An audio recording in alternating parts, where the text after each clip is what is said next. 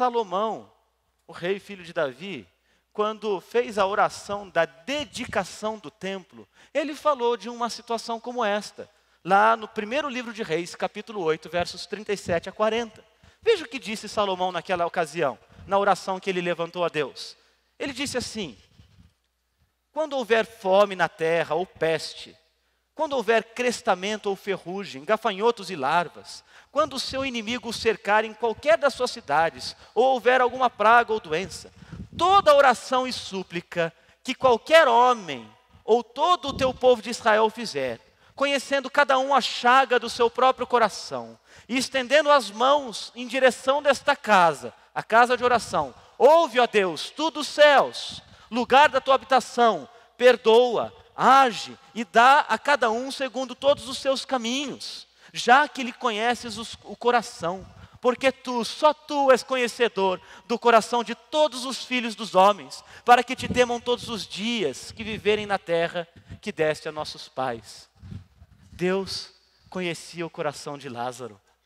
E Lázaro, lá do lugar onde estava, da sua miséria, da sua pobreza, do seu infortúnio, da sua tristeza, da morte que ele comia por dentro. Ele orava ao Senhor com fé.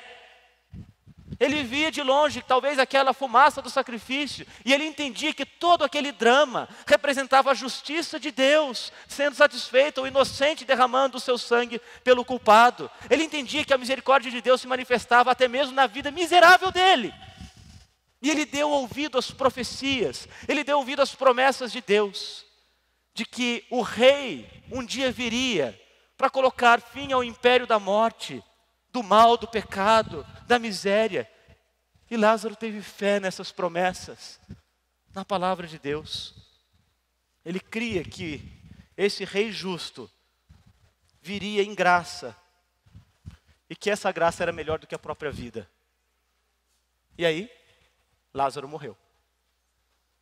E nessa altura da história, nós precisamos aprender uma lição bem importante que o texto ensina para a gente.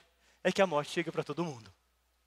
A morte é uma realidade terrível, um inimigo, na linguagem do apóstolo Paulo, e um inimigo inescapável até que o Senhor Jesus Cristo volte. É uma realidade inexorável, inescapável para todos nós é uma espécie de corrente que nós temos presa aos nossos pés e que a gente vai arrastando a vida inteira até que chega um dia que essa corrente arrasta a gente.